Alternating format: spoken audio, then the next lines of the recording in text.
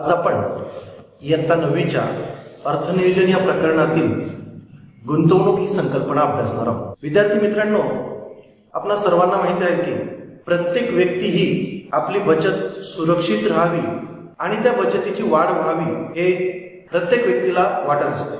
त्यामुळे प्रत्येक व्यक्ती आपली बचत सुरक्षित राहावी व त्याची वाढ व्हावी यासाठी ती ठेव म्हणून ठेवत असतो.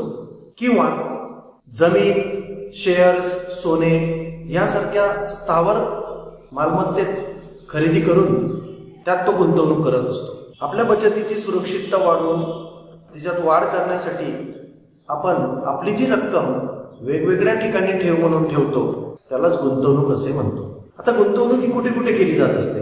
तर गुंतवणुकीचे पारंपरिक स्रोत जे ते पोस्टात गुंतवणूक केली जात असते बँकेमध्ये गुंतवणूक केली जात असते.